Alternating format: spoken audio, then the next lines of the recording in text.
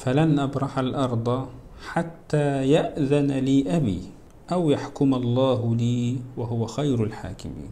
في قصة يوسف فوائد كثيرة جدا يعني تزيد على الألف فائدة. منها هنا أن الإبن له مسؤوليات. إذا أخذ الأب عليه عهدا أو عقدا في أمر أو كلفه بمسؤولية عليه أن يلتزم بهذه المسؤولية وأن لا يتركها.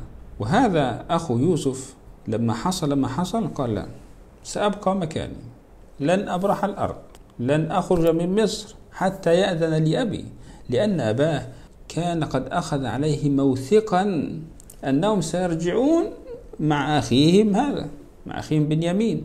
لكن لما حصل ما حصل وسرق أو اتهم بالسرقة حسب القصة وأخذه العزيز عنده فالآن سيرجعون ناقصين.